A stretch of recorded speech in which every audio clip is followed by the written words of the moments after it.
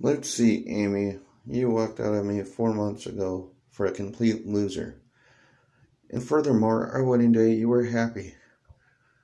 And you lying about doing the wrestling thing, hmm, doesn't show in this picture how much you lied. And then you walk out on me for a complete fucking loser. Furthermore, you think it's funny what you've done, and you've caused a lot of pain inside me. I have mental breakdowns every day because of your crap. And furthermore, little boy is going to get something. You destroyed my health emotionally, emotional distress. Hmm. Chris is in for a wake-up call. Keep acting like I don't matter anymore?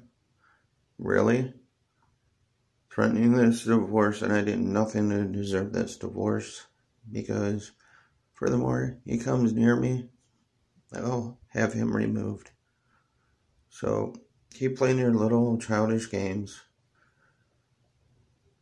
I just came home today and I'm out the house again today. Jay and Sugar hate your guts too. Furthermore, I don't like you anymore either. You trying to be social and everything is not going to get you anywhere. You're pretty pathetic.